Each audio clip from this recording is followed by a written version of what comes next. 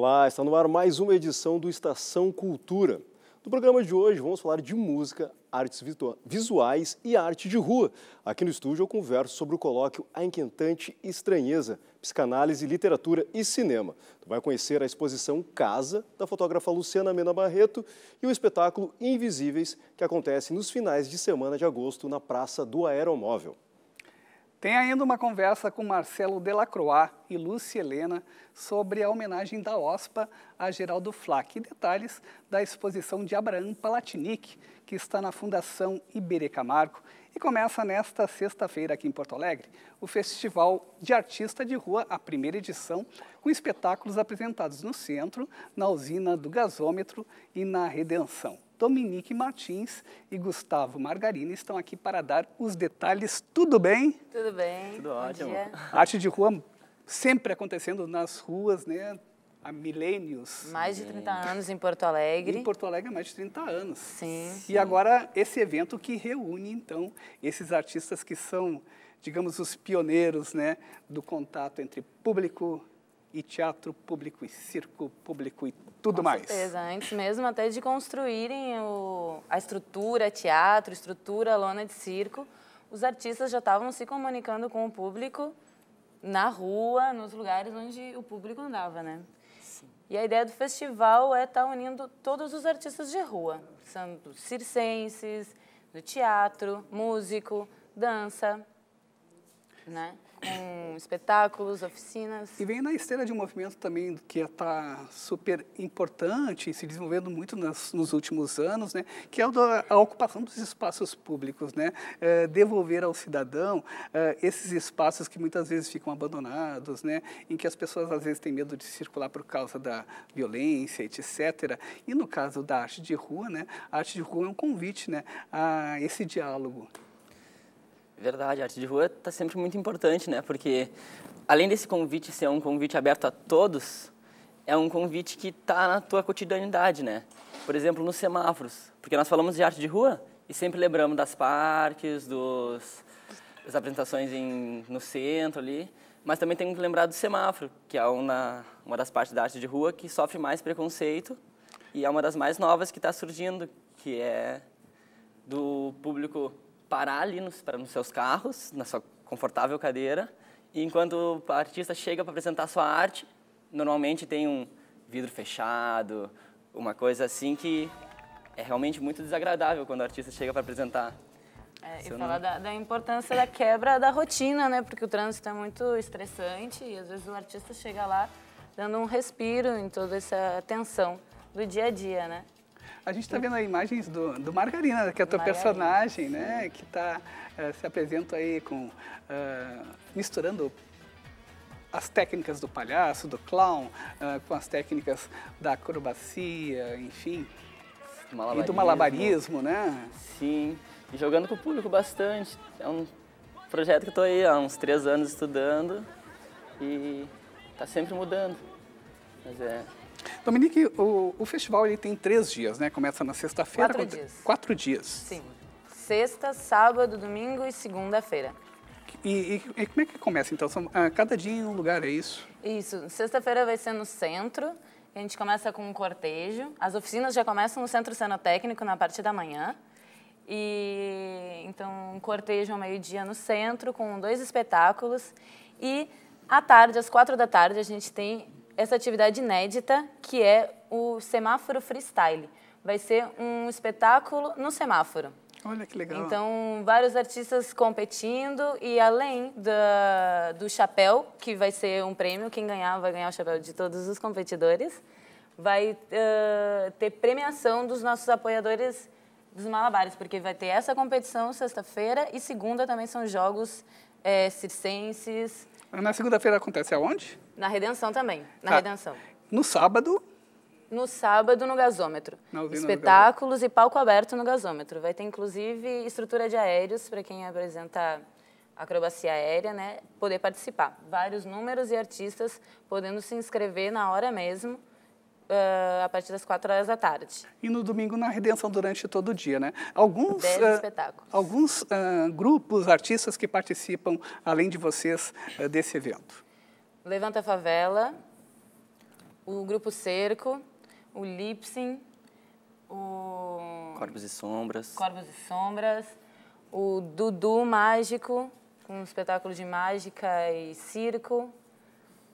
É... O Pichate, que é do Retricirco, teu companheiro. Pichate a Retricirco. O Ivar, que também tem números de chapéu, com música. Que legal. Enfim, né? Arte Grupo Tia livre. de Canoas, desculpa de interromper. Arte livre e um público livre, né? Como vocês dizem no material de divulgação de vocês. Isso. O festival acontece então de sexta a segunda-feira, uh, em vários locais, Praça da Alfândega, Usina do Gasômetro e Redenção. No site do festival, uh, pelo Facebook, você pode ter maiores informações. Muito obrigado e sucesso aí no evento. Obrigada. Muito obrigado. Artista cinético, pintor e desenhista, o brasileiro Abraham Palatnik é tema de uma exposição retrospectiva na Fundação Iberê Camargo. A mostra reúne obras produzidas entre os anos de 1940 e 2000.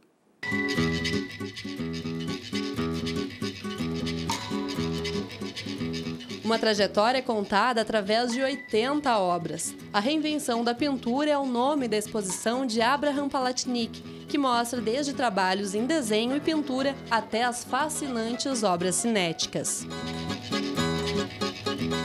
Ele trabalha muito com as mãos, ele, ele que constrói tudo, ele que corta, ele que monta. Então, o prazer de fazer, eu acho que isso é uma coisa que permeia toda a obra dele. A exposição ocupa dois andares da Fundação Iberê Camargo.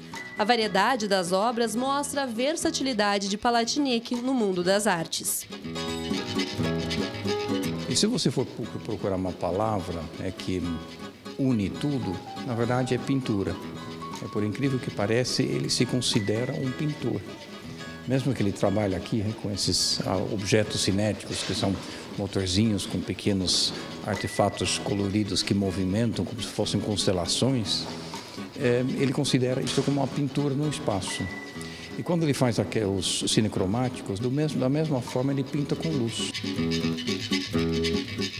Abraham Palatnik é um pioneiro no uso de tecnologia em obras de arte.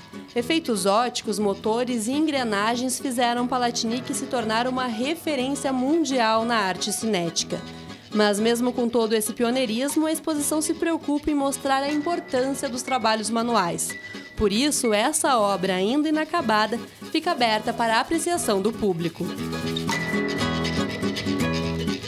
Ele é feito com pequenos motorzinhos, com barbante, com engrenagens, com coisas que ele mesmo solda, com lâmpadas incandescentes que, é vão ligando, desligando e outros é, mecanismos que vão jogando sombra. Afinal, vai ter uma tela na frente né? e lá vai acontecer a obra. A obra não existe enquanto está desligado. É só uma caixa com uma telinha branca. É quase uma televisão. Mas hoje em dia todo mundo está acostumado com programação de, de, de, de, computação, de desenho gráfico no computador. Então não encanta mais tanto o fato que isso é feito quase artesanalmente. Por isso que a gente resolveu colocar esta máquina aberta para mostrar isso. E para a pessoa lembrar que não precisa ter tudo ser uma telinha de iPhone.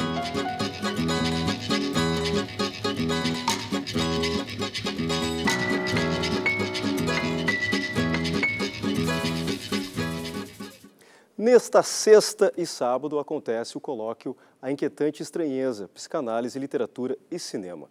O evento pretende abordar questões da psicologia e da psicanálise através da leitura e do cinema, da literatura e do cinema, e acontece na Escola de Enfermagem da URGS. Converso agora com a psicanalista e doutora em letras, a Lúcia Serrano Ferreira, sobre o evento, que tem uma abordagem mais freudiana e pós-freudiana, é isso, Lúcia?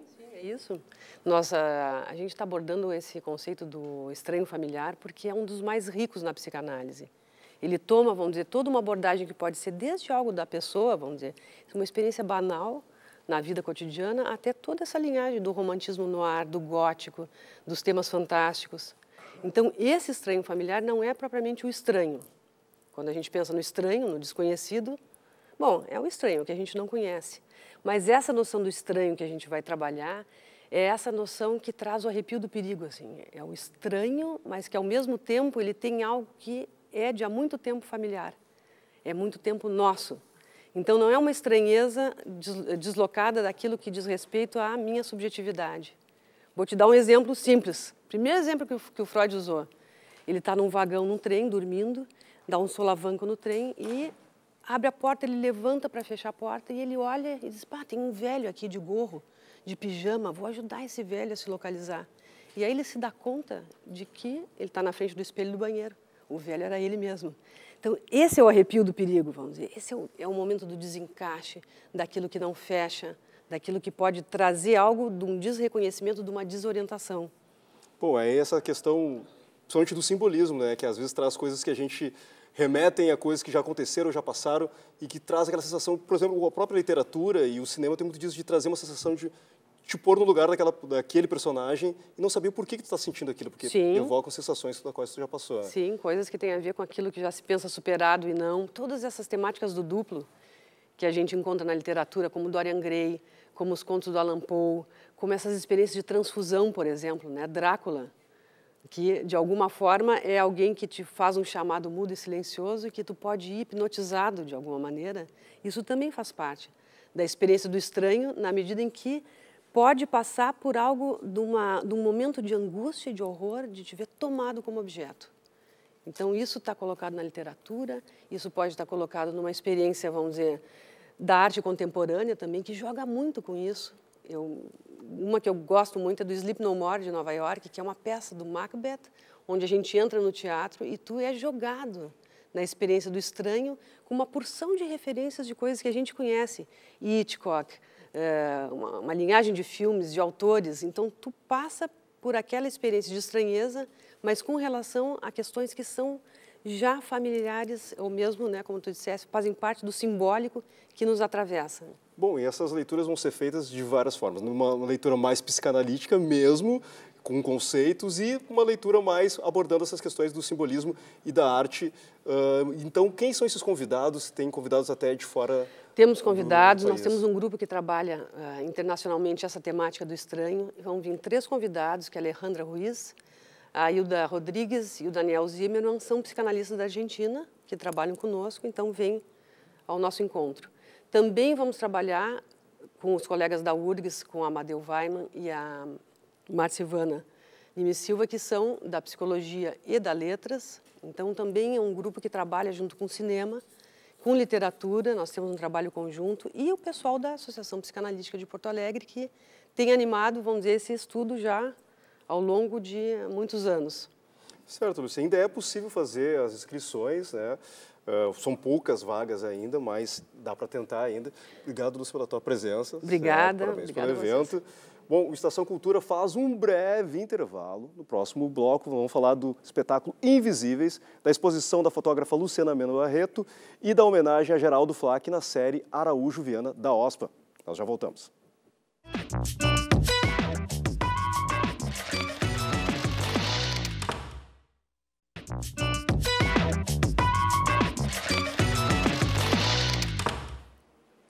Estação Cultura de volta e segue em cartaz a montagem Os Invisíveis, todos os sábados e domingos na Praça do Aeromóvel, em frente à usina do gasômetro.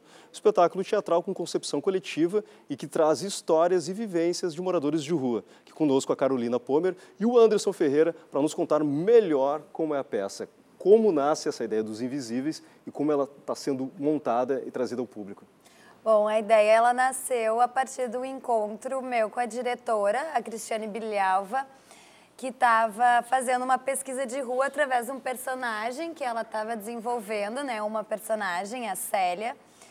E é, um, e é um fato curioso que nós tínhamos uma moradora de rua em comum, assim, que no, muito nos influenciou na vida, assim. E ela vem fazer essa pesquisa e eu falei, olha, eu tô afim de ir pra rua também, mas eu tô afim de trabalhar com as pessoas em situação de rua como atores, né? E aí a gente se juntou, fomos até alguns serviços, então, algumas praças em que o pessoal se reúne. Fomos buscar um apoio também do movimento da população de rua e começamos a trabalhar aí de uma maneira bem improvisada no ano passado. Montamos um espetáculo curto e daí mandamos um projeto, fomos contemplados com o Funarte, agora montamos um espetáculo maior, então, né? Com atores profissionais, então fazem parte do elenco a Cristiane Bilhava, eu, Arlete Cunha, o Cícero e pessoas também uh, que vinham dessa situação de rua, como o Anderson, o Cláudio César, mas que tem toda a coisa né, da composição das músicas, de trazer mesmo o que, que é a realidade da rua né, para a gente poder contar. É, eu acho que interessante é justamente essa perspectiva, né? Tá participando, tá incluso dentro de um grupo teatral, mas mais do que isso, está trazendo essas vivências e está contando histórias, né? Como é que está sendo para ti, Anderson? Ah, assim, quando eu recebi o convite de estar tá participando da, desse projeto da peça, né? Eu que sempre militei na área social, inclusive hoje é o dia de luta da população em situação de rua, nós iríamos fazer um ato, mas infelizmente choveu, vai ser marcada uma nova data, né? E eu como cofundador do Movimento Nacional da População de Rua aqui em Porto Alegre. Me senti muito contemplado de estar mostrando assim a minha vivência e mostrando aquilo que eu acredito de uma outra forma que possa assim levantar o, um debate com a sociedade da, da, verdadeira realidade da situação de rua aqui em Porto Alegre e nas grandes cidades, né? Então, eu acho que a peça vem assim alimentar o meu trabalho, né? E, e também conheci várias pessoas legais assim que trabalham na área do teatro e tal. Para mim tem sido uma vivência ótima, uma maneira muito boa de estar mostrando aquilo que eu acredito. É, e a ideia é justamente do, de tirar essa invisibilidade da, da pessoa que está em situação de rua. E como é o desenrolar? Bom, tem a questão que é muito crucial, que é a utilização do espaço de rua, né? espaço rua. público. Então ele começa sendo desenvolvido na rua e depois ele segue. E ele também é itinerante, queria falar sobre essas questões. É itinerante, assim, né? Então a gente tem essa ideia de uma vivência mesmo da rua, né? Então a, a gente começa na Praça do Aeromóvel, seguimos são situações que são situações bem do cotidiano de quem está na rua que vão nos tirando dessas praças e fazendo com que a gente migre até chegar na, na Praça da Bronze, onde acaba o espetáculo. Né? São vários locais onde o pessoal rola de, a peregrinação da galera que está na rua. Acontece assim, uh, uh, histórias do cotidiano da população em situação de rua, que uh, a PM costuma ser chamada uh, para tirar a galera que está ali em praças, embaixo de viadutos. Daí o pessoal se desloca para uma outra praça, daí vem os moradores e, e, retiram o pessoal, daí o pessoal se desloca para uma outra praça. É bem essa vida itinerante, nômade, assim, que a população de rua tem, né? Uma, que vai passando, vai mudando. Se tu chegar num local onde tem uma concentração de população de rua, daqui a uma semana tu vai chegar ali e a mesma galera que está ali pode ser outra, assim. E é bem o que acontece com a população de rua. Bom, então, todos os finais de semana, na Praça Júlio Mesquita, que é a praça na frente, a praça do aeromóvel, em frente à usina do gasômetro, a partir das 19 horas. 19 horas. 19 horas. E uh, também a contribuição é, é naquele velho sistema do chapéu, do né? Chapéu. Então, a entrada franca, porque a rua é para todo mundo, né? E a contribuição é no chapéu. Certo. Obrigado pela presença de vocês, parabéns pelo Obrigada. projeto. Ou imagens de uma residência abandonada são o tema da exposição intitulada Casa, da fotógrafa Luciana Mena Barreto. A mostra fica aberta até 30 de agosto na Galeria Iberê Camargo, da Usina do Gasômetro.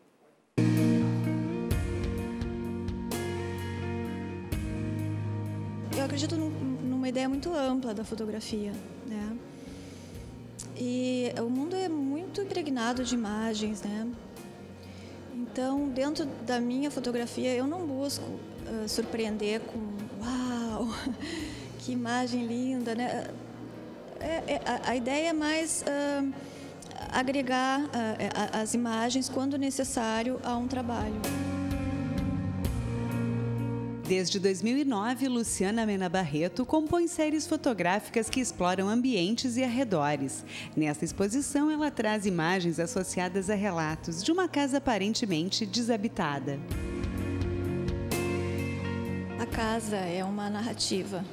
Ela conta uma história um, a partir de uma deriva urbana. Deriva, deriva urbana é, é um andar a esmo pela cidade e tem origem nessas ideias da Internacional Situacionista, uh, que era um grupo de, de pessoas muito especiais que, que uh, buscavam estratégias para, enfim, para mudar o ponto de vista sobre mudar a visão de mundo, tentar mudar a visão de mundo a partir da cidade. Né? Está assim aberta a esse tipo de situação, né, de, de, de permitir que o inesperado, né, e essa é a proposta da caminhada do, do artista, né, que usa essa estratégia para sua poética. Então eu eu entrei na casa e, e tive uma experiência, vivi essa experiência uh, e incrível porque lá dentro era uma casa que não tinha, é, bem como aquela musiquinha infantil, não tinha teto não tinha chão, né? Uh, e, mas, no entanto, lá atrás da casa tinha um pequeno nicho onde morava alguém. A maior parte das fotografias são da casa, né? Mas eu, eu também fotografei o Danilo Antônio, que é essa pessoa que estava morando lá, e com a permissão dele, óbvio, né? E, e tive esse, esse embate, essa, tive essa, esse contato, assim, foi muito interessante. Por mais que a cidade, a gente assista uma cidade, a gente a, a, se coloque na posição de assistente, né, de assistir à construção de uma cidade, ela também pode uh, ser uh, uma cidade em que a gente saia da, da passividade, entre né, para construir. Então, que, o, o, que seria, vamos dizer assim, uma, uma, um pensamento dessa época, né, em que desse grupo situacionista que o habitante ele sai da sua posição passiva, né, e passa a criar situações e então ele passa a construir a cidade ativamente, participativamente.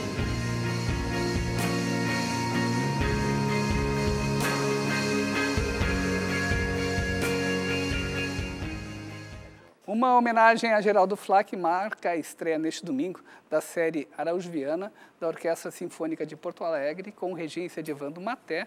A apresentação vai ter a participação especial dos cantores Lúcia Helena e Marcelo Delacroix, que estão aqui. Tudo bem? Tudo bom. Que bacana participar desse, dessa homenagem ao Geraldo, que faria 70 anos este mês, né? morreu com 65, enfim, há 5 anos. E vocês trabalharam com ele, né? Ele era um cara de muito afeto, né? Era um, era um gigante da música, né? Eu, quando comecei na música, adolescente, o, o, Geraldo já era o diretor da nossa gravadora, Isaek, né? Lançou o disco Paralelo 30, idealizado pelo Jores Fonseca, é, impulsionando a carreira de muitos artistas que estavam começando, Bebeto Alves, Nelson de Castro, Raul Elvangra, essa turma toda aparecendo no Paralelo 30, né? E aí, para mim, foi uma felicidade ter me aproximado do Geraldo nos últimos anos de vida dele. Tive a oportunidade de cantar com ele num concerto da Orquestra da Ubra, um outro recital que fizemos juntos. E eu lamento muito que acho que ali estaria começando uma parceria muito boa e estaríamos fazendo muita música juntos, né? Então agora é uma oportunidade de poder homenageá-lo aí na frente da Orquestra Sinfônica de Porto Alegre no Araújo Viana, nesse evento lindo aí, entrada franca. Esperamos que o teatro esteja bem cheio para completar essa homenagem. É, Mas, Lúcia, o Geraldo também foi um parceiro da tua carreira, né? Ah, tá. Geraldo foi, foi a pessoa que alavancou a minha carreira né, musical. Foi o cara que fez o meu primeiro, meu primeiro disco e me mostrou para o Brasil inteiro. Tive a oportunidade única de cantar pelo Brasil por esse disco que o Geraldo fez comigo. Nesse dia a dia, com, nesse contato com o Geraldo, né, ali na sala de ensaio, é, ele ao piano sempre, né? É, como é que era esse momento do artista Geraldo, assim? Como é que era essa troca? O Geraldo era muito intenso em tudo que fazia, né? Ele transpirava música e sempre com muita verdade. Isso era o que ficava é, óbvio desde o início. E isso já era um aprendizado para quem estava chegando perto dele, ah, né? É não é verdade? É verdade, é verdade? Era música com verdade sempre. Ele não abria mão disso. A gente está vendo uma imagem é, do Geraldo é, num registro do nosso programa Sonora Tribo aqui da TV, uma imagem de 2005, né? É Geraldo Flack Quarteto e uh, alguns músicos que tocaram, né, que faziam parte da banda do Geraldo, vão estar, vão estar no, nesse concerto é, também na, é, no, no, domingo, né? É, vão estar. O Ricardo, o Ricardo Baumgarten, o, o Ricardo Anenalt, o Fernando Duó E o Christian Spirandir no piano. Que é um jovem talento, jovem. pianista, né? Influenciado pelo Geraldo. Né? É, É. com certeza. O Christian está iniciando uma carreira aí muito bonita e já vinha estudando, se aproximando do Geraldo, da obra dele, então nada mais, mais justo que seja ele aí o pianista a representá-lo. É, e vocês, né? como é que vai ser a participação de vocês? Bom, a minha parte eu vou cantar o Abolerado Blues, que foi uma das músicas que me re- revelou aí para o Brasil. E uma música é, que tem tudo a ver comigo, né? Então, até porque quando eu era pequena, eu gostaria de ser a Ângela Maria, uma parte da letra. Que legal. E você, Marcelo? Eu vou cantar a música que a Elis Regina gravou. A Elis Regina, o Taiguara também tem uma gravação bonita dessa música, se chama Um Novo Rumo.